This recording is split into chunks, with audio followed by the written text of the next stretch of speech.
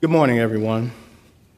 Before I get started on why we're here, you know, as I look out into the crowd, I just wish that the families of gun violence in this city got this much attention because that's who really deserves the amount of attention that we're giving to this particular incident.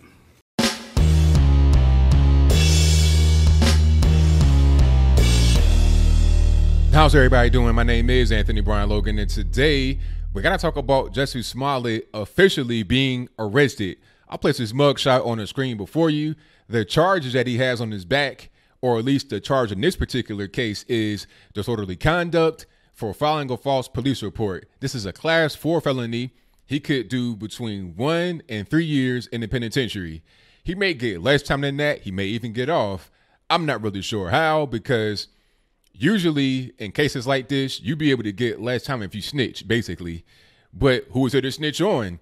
He is the ringleader. Let me back up a little bit to explain what's going on to give you a brief recap. Then me get into all of what was said in the press conference today. And if you want to see that full press conference, I'll place that in the description box below. We all know the story. He staged a fake hate crime outside of his house. He hired these two big Nigerian bodybuilders to fake beat him up because he sent a fake letter to himself, which did not get enough attention. He thought that it was a letter with some white substance on the inside, a threatening, homophobic message, that that would just make the news and it'll really get a lot of attention. It didn't. So he does a fake hate crime. And now he's about to go to the penitentiary instead. Some were trying to defend him, talking about, well, he was doing this for a righteous cause. He was just trying to bring a light to, you know, all those who are affected by the Trump supporters and MAGA hat wearers who he was trying to blame for the hate crime. But the reality is he was not getting paid enough on his show Empire, according to him. So he wanted to get more money. That was the whole reason. Now, I'm not really sure how staging the fake hate crime will make you get more money on your TV show, but that was a thought process. Now, hear this out. He's getting paid $65,000 per episode, and you have about 18 episodes per season. So you're talking about almost $1.2 million per season. Not even including what he does on the side, which is singing, dancing. He has an album coming out, all kind of stuff like that. So this is not a poor guy. His family has money. So I'm not really sure what you're spending the money on. You don't have any kids. You're not married. So what are we spending the money on?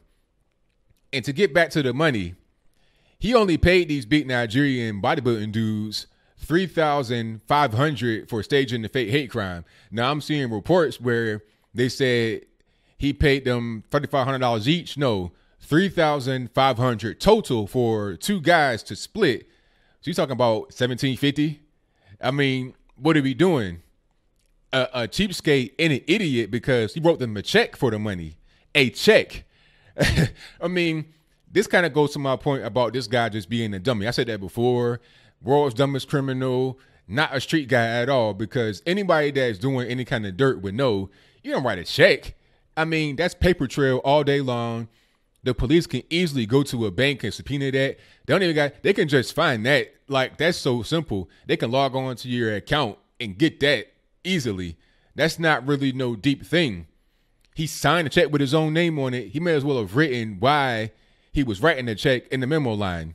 Because I mean, the police, if, if they see that, then it's easy to be like, okay, one and one is two. You know? And also in the press conference, they saw the Nigerian guys from their house to Jussie's house through a bunch of cameras, from from the police cameras in the sky to private citizens cameras to Uber drivers cameras. It, they had them just just easy. And they found footage from a beauty supply store where the guys bought a red hat, uh, the ski mask, the gloves, all of that in full 1080p HD quality. I was surprised because the picture of them on the side of the road that we saw at first was real grainy. You didn't know who it was. But this right here, you see him in live, full color, action, all of that. So there's no doubt that this was a scheme. You also had the phone records. Jussie was calling these guys one hour before the actual uh, so-called hate crime attack, an hour after the attack, and then he was calling them while they were in Nigeria. They fled to Nigeria hours after the so-called attack, and they came back two weeks later. During that whole period of time, they were piecing the case together. So they knew that they were in Nigeria and they knew when they would be coming back. So as soon as they got off the plane, the police were like, come with us. They come to the station, they're in custody for 48 hours. On a 47 hour, that's when they decide to snitch. Because they know if they don't tell right now while they're in custody and the police built the case, it's a wrap for them. It's gonna be hate crime charges, it's gonna be all kind of stuff. Now, the federals are also involved here, which makes it complicated because he may get off of the initial crime, the well, the, the second crime actually, but the first one we heard about, which was the fake hate crime, he may get off of that. Maybe, maybe, maybe he may get, uh, you know, he may pay restitution, uh, give an apology or something like that. But the fake letter with the white substance and the magazine cutouts, uh, you talking about uh, a federal offense. It could be considered domestic terrorism under the Patriot Act. We're talking about bit level government. Who is he going to snitch on to get out of that? Kamala Harris, Cory Booker, could they be involved? Who else is involved with this whole situation that could be above Jussie Smollett's pay grade? Okay, because there was a rope involved. Why would you include a rope? Kamala Harris and Cory Booker have an anti-lynching bill in the government right now that's kind of sitting there. It passed the Senate, but it did not pass the House yet, and it's been there for a year. So could they be involved? I have no idea, but Cory Booker did promote that during the whole situation. So if he snitches, it'd have to be on them. But he doesn't want to do that because now you're getting into some, you know, uh, uh you know, day day of the jackal. You getting into a whole different ball game. So you don't want to do that. Trump tweeted about this, and I placed that on the screen before you. And some would say, why would Trump get involved? This is kind of a petty issue. He has bigger fish to fry. But what you may not understand is that this is very important because he's putting people's lives in danger. Somebody got a gun pulled on them recently because of their MAGA hat. Okay. And it wouldn't be the first time you've seen plenty of Trump supporters get beat up. Uh, seriously, I seen people get shot over the MAGA hat. You don't want to have guys like Jussie be out here stoking that hatred, stoking that violence, poking at people's soft points, poking at people's, you know, insecurities, sensitivities. You don't want that kind of stuff. All for more money. It ain't because he's trying to be some kind of freedom fighter. He was just trying to fight for his people. You know, it wasn't even about that. It was about I don't make enough money on Empire. I want to get some more. I'm making 1.2 million a year. Maybe I want to get 5 million a year. Okay? So it, it wasn't even about some kind of greater fight. It wasn't about nothing other than to get money. Same as Colin Kaepernick talking about, yeah, I'm fighting for the people, black and them proud, all this, that, and the third. I'm wearing my afro out big under my football helmet, all that kind of stuff. Okay? It's really about money. Selling out of court with a confidentiality agreement for 80 million from the NFL. Come on, man. It's all about cash. Let's keep it all the way real. So this guy should go under the jail, in my humble opinion. He's facing 10 to 15 years for the federal charge. If that happens, for this charge, he may get off. I hope he doesn't. The Chicago superintendent kind of disappointed me at the end, talking about, well, I think he should just, you know, give an apology and pay money, all this, that, and the third. Now, to be fair, he was asked what what he think the ultimate sentence would be or a fair sentence would be. Maybe he can't say jail because that can be potentially poison the jury pool. I'm not really sure how that goes, but if he thinks that it should just be a, a fine and apology, that's weak, that's soft, that's bogus. It definitely should be jail. You didn't tie up people's resources. You didn't put people's lives on the line. You had people come out to defend you. Now, one thing I will say as I close is that it won't be this big groundswell of support like many think it may be because the LGBT community and the black community are upset with Jussie because he lied.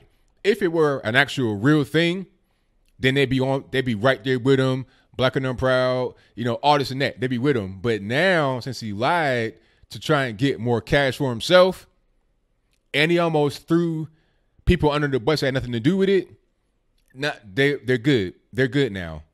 So that's pretty much it. One more thing.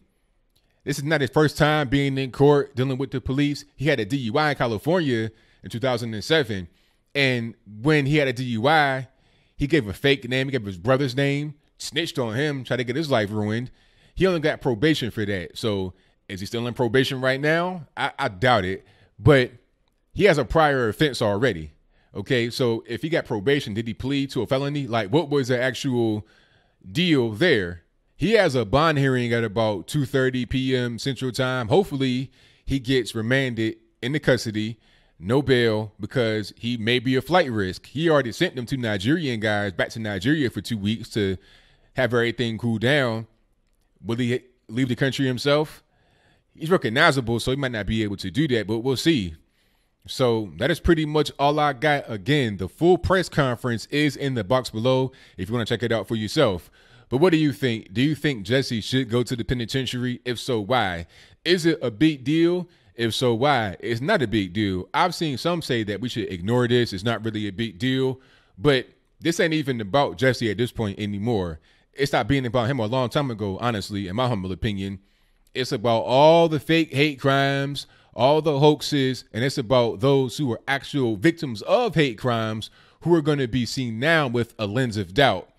A little bit of, well, I don't know if it was really something that happened to him. Maybe it did, maybe it didn't. We can't have that be the case. If you are a true victim, you should be treated as such. Guys like Jussie Smollett should not be poisoning people's minds. But unfortunately, just by human nature, he's going to do that. It's little boy cry wolf all over again. So, whatever your comments are, please let me know in the comments below. And that's all I got to say for this video. If you like what you heard, please comment, rate, share, and subscribe. Peace. Ladies and gentlemen, we got him.